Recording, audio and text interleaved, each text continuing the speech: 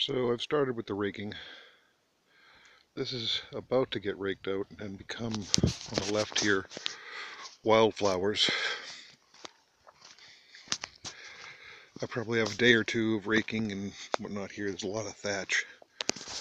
That'll eventually build up the berm on the between the road and this trail. And uh, that'll have shrubs and whatnot, so further kind of secludes this, makes it look good. Anyway, over here I've been working on getting the conduit for the uh, 12 volt from the solar array and the battery system you know, that connects to the cabins to get here to the water tank with the pump which needs fixing with something that looks better than that. I'm thinking something like 18th century as opposed to oh, 1980s trailer park, which is what it is right now. So anyway, um, that comes into this area here, which I've been kind of raking out. I'm trying to create an area over here where I'll eventually put something down, I don't know, bark mulch or something so you can walk on it and it doesn't get too dusty. Right now everything's moist, but it's going to dry out. The idea here is I don't want to have to bury all this conduit, so I'm going to create another berm here with that material, which is going to get raked over the top of it to go down this path that I'm creating. This is a field I just started working on, I don't know, two, four days ago. Anyway, it's first raking and I'm getting all the pine needles and whatnot in another berm here. And the reason why is that the prevailing wind comes from the south, which is that way, and comes tearing through here and I want to do is have an area over here where there's like wildflowers again.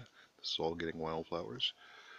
Um, and then here I'm going to try potatoes and root vegetables and whatnot stuck on top of the pine straw and then covered with dirt. And I'm hoping that eventually it'll grow up enough where I can start growing vetch over that fencing which will create a kind of a windbreak for the area where people will be sitting. Anyway, that's this whole thing. You can see I've only got about halfway across the field and see more of this. Anyway, it gets quite thick and it's like a moonscape. So between raking all this up and then finding enough soft dirt to kind of fill in some of the craters so at least you don't twist a foot, um, and that's what we're at. I figure it'd be wildflowers for a couple of years and then just every fall rake it out, spring rake it out until it kind of gets smooth enough where I could maybe run one of those push mowers over it a couple of times a year to keep the fire danger down. Anyway, that comes around this way to the next path. You can see the that area over there. Right now I'm storing yard tools and whatnot down there using that. This whole area here, of course, between the berm and the trail. This is all going to get raked out here in the next couple of days and get wildflowers as well.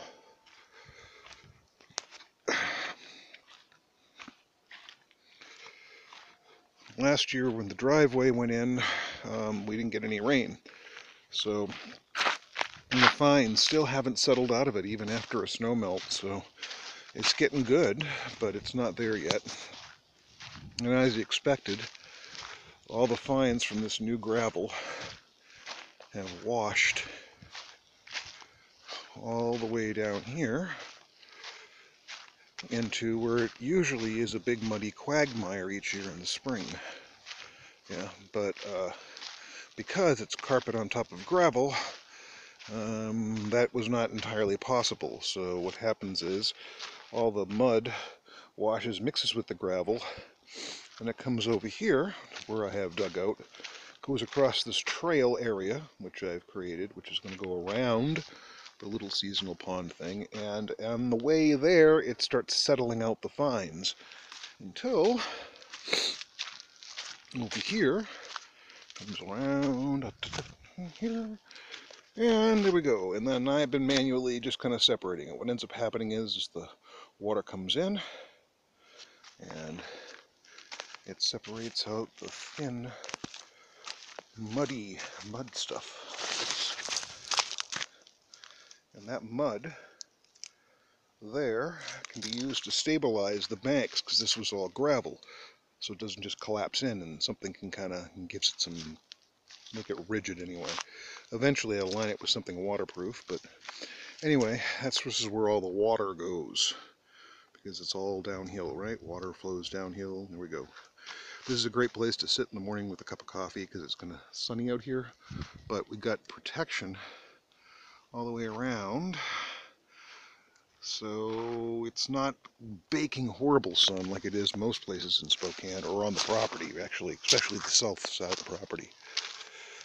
Know, this of course continues around. I haven't done any of this yet. This still has yet to be done with carpet and gravel. You can see I got a few carpet fragments up here at the tall parts where it gets really bad.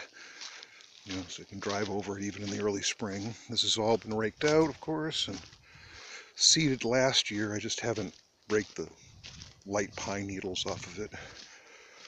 What I'm working on yesterday was this area, which is also getting raked out.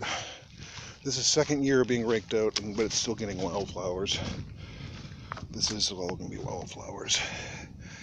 And then, of course, the extra dirt and thatch and whatnot gets piled up on that berm. And get a little secluded little forest trail with more wildflowers and then boom you can see there's neighbor. So my thought is neighbor is here on this side of the fence right? And then over here is the berm which is going to hide that. And behind the berm is the wildflowers and the little forest trail that goes back to the area with the hand pump, which has the little sheltered area from the wind and the sun when it's hot and miserable. So you can kind of hang out and have a cup of coffee and chat with folks or whatever. This is the kind of the concept. Anyway, I've been doing a lot of raking but this is the general area here. I like to cart the little barbecue up here occasionally and just kind of, this is kind of a nice place to hang out. But I can sit here a lot of times and before that started falling apart, watch the birds kind of land on the edge of the pot and get their drink, kind of like a, because they like the sheltered area, you know. It's like a little bit of a clearing with a lot of low branches for the birds. So I'm trying to kind of keep that going, especially by adding the, like I say, the windbreak behind me made out of the fencing, which eventually I'm hoping to have overgrown with like vetch and hops and whatever, that kind of stuff. Maybe some morning glory. Anyway, so that's the state of the garden report.